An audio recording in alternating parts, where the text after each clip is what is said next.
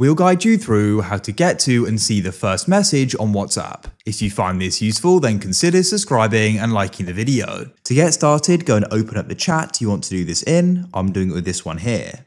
So there's a couple different ways we can do this, so let's go and get started. For the first way, what you can do is go and tap on the clock in the top left. However, if the messages haven't all loaded, it won't work that well and you have to keep tapping it, but you could go and keep repeating that and eventually you'll get to the top without having to actually scroll. Another way you can do it is by tapping the chat name at the top, coming over to the right and pressing search.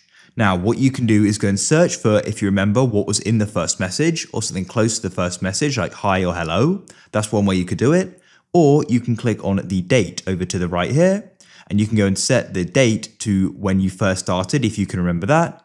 Or, for example, you can go to the first year, then press jump to date, and I've managed to get right to the top. What you could also try doing as well, if you didn't get to the first one with the first attempt, is start changing the month and day as well. If you found this useful, then leave a like.